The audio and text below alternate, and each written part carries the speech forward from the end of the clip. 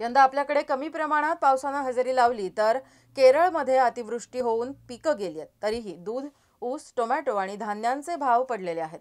असं नेहमीच होत आहे. त्यावर उपाय सुचवून आणि पावसाचं नियमन करून शेतकऱ्यांचं उत्पन्न वाढवण्यासाठी आणि वारंवार अचूक हवामान अंदाज मिळण्यासाठी काय करावं या विषयावरती नगरमध्ये व्याख्यानमालेचं आयोजन करण्यात आलंय.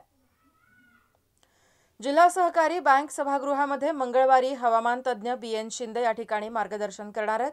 यावेळी या व्याख्यानमालेसाठी सर्वांनी मोठ्या प्रमाणात उपस्थित राहावं असं आवाहन यावेळी करण्यात आलंय.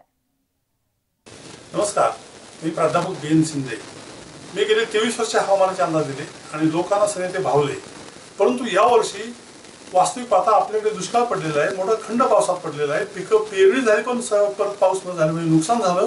आणि केरळ आणि उत्तर प्रदेशात उत्तर भारतामध्ये प्रचंड पाऊस झाला सगळ्यांचं नुकसान झालं. एवढं असताना सुद्धा धान्याचे भाव पडलेले आहेत भाजीपाल्याचे भाव पडले दुधाचे भाव पडले हे असं का होतं? यावरती उद्या एक नगर अहमदनगर शहरातल्या जिल्हा सहकारी बँकेमध्ये एक अकरा ते एक वाजेपर्यंत परिसंवाद ठेवलेला आहे. मी एक तास त्यावरती भाष्य करणार सगळ्या शांगांचं निरसन करणार आणि सगळी यंत्रणा जागेवर कशी आणायची हे मी सांगणार. त्यानंतर लोकांच्या प्रतिक्रिया येणार आणि सगळ्या लोकांच्या समवेत पत्रकार समाजसेवक आणि सगळ्या लोकांच्या समवेत त्यावर कायमस्वरूपी उपाय कसा करता येईल त्यावरती परिसंवाद ठेवलेला आहे. तरी आपण सर्वजणांनी या ठिकाणी यावं. माझ्याकडे कुठलाही निरोप द्यायला यंत्रणा नाही. हीच यंत्र हेच निरोप समजून आपण आपल्या भागातल्या पत्रकारांना जाणकारांना आणि समाजसेवकांना घेऊन त्या ठिकाणी मोठ्या संख्येने हजर राहावं.